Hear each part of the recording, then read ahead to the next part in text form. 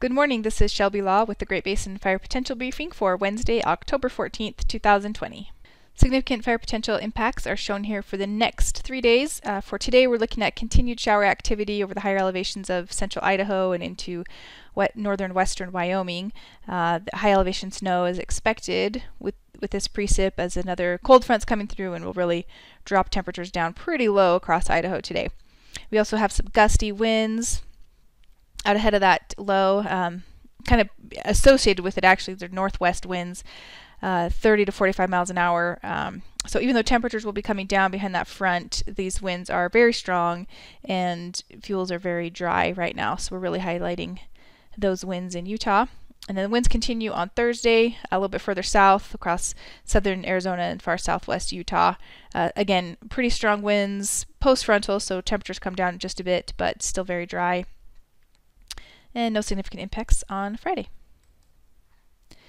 For the smoke this morning, we've got a little bit of, smoke in place over southern Nevada and central and southern Utah. By this afternoon, that should clear out uh, behind that cold front.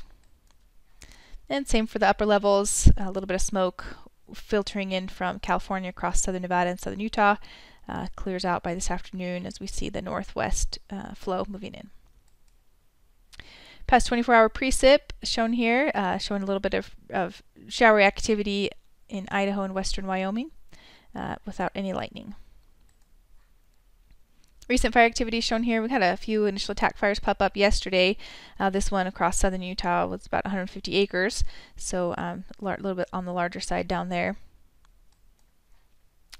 And the precipitation for the past 14 days uh, really so far in October, we've had a pretty good amount of precip over western Idaho and western Wyoming and, and just moving into the far northern tip of uh, Utah. But most of Nevada and most of Utah have been very dry for the first half of October and very dry uh, really since this spring. ERCs are still up uh, pretty high across Utah, at least what we have in here for western Utah. We have another purple station showing up above the 97th percentile. Those values, of course, are, are falling across the north and even over northern Nevada to some extent, uh, but still very dry in place over Utah and southern Nevada. Closer look at the ERCs here for far western Nevada, still hovering right around the historical maximums for the time of year. And then here across the Arizona Strip and southern Utah, um, those values have been setting records for the last couple of months, really since the middle of July. Um, so still no significant precip has happened anywhere across Utah for a while. So we are seeing um, those continued record level ERCs. This morning satellite imagery showing a high pressure ridge off the California coast with this very large long wave trough in place over the northern Rockies, bringing that cold front through uh, Idaho and into Utah today and northern northern Nevada. So we will see a drop in temperatures behind that front today again with the high elevation snow. Uh, so by this afternoon, just looking for that cooler air in place across much of the northern half of the geographic area with those strong northwest winds over central and eastern Utah. Uh, it will be windy across Idaho as well, but relative humidity is up in those areas, so we're not as concerned. Uh, for Utah, we're really looking at the higher elevations with those downslope northwest winds uh, picking up along the ridges uh, here in central and east northeast Utah. Precip for today, really just coming to those northern and central Idaho mountains and western Wyoming, and that will be um, a good chance of some snow with those showers. On Thursday, uh, will start to clear up, bringing some drier air back into the north. Um, will remain under that northwest flow. Winds will lighten up across the north, but we will see them pick up over uh, the southern tip of the Great Basin, uh, especially with any downslope areas uh, influenced by that north north wind. So a closer look here, uh, far southwest Utah and into southern Nevada is where we'll see those gusty winds up to 45 miles an hour or so. Um, so we do have that highlighted for high risk. Lighter winds across the north.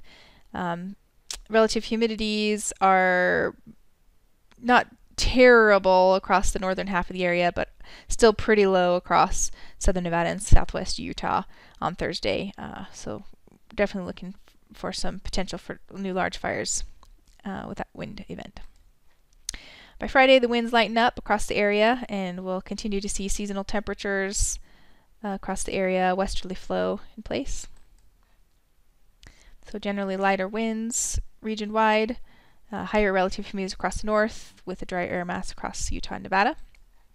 Three day precip totals showing just what we're expecting today across the central Idaho Mountains and western Wyoming. On Saturday, more of the same, uh, generally mild, sunny west to northwest flow. So seasonal temperatures are just slightly below seasonal uh, across the north, especially that big long wave trough in place over the, the northern Rockies and northern plains. Now on Sunday, we'll still stay dry over Nevada and most of Utah. Uh, we could see a little bit of moisture coming in uh, um, associated with that trough back into Idaho and may see an increase in showery activity once again up there.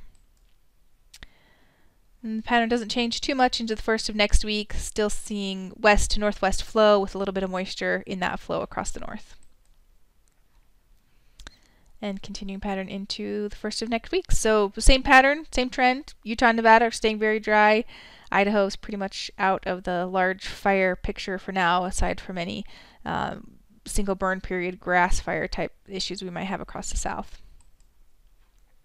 And the 70 totals really pretty much reflecting what we're expecting uh, just today. But as we get into the weekend, that Sunday time, Monday time frame, uh, where we get pick up a little bit more moisture in that northwest west flow, we could see some more precipitation uh, across those same areas of central Idaho and western Wyoming, and, and possibly a, a slight chance for some showers across the northern Utah mountains.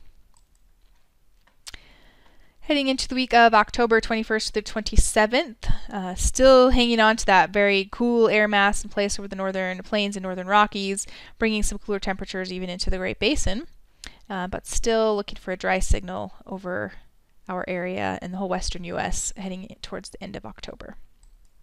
This concludes today's fire potential briefing. Please check back tomorrow for the latest updates.